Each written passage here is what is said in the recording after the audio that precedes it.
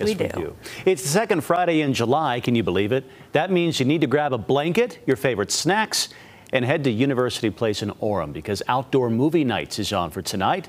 And they've got something special in store there. Starting at 9 o'clock, you'll have the chance to put on your dancing shoes, catch the 1984 classic Footloose, yeah, free popcorn available on a first come, first served basis while supplies last, of course. But you're free to bring your own Kevin Bacon. He's been here before, by the way. Have mm -hmm. you heard? Mm-hmm. Yeah, he has some experience here. Doors open there at 8:30. And as the news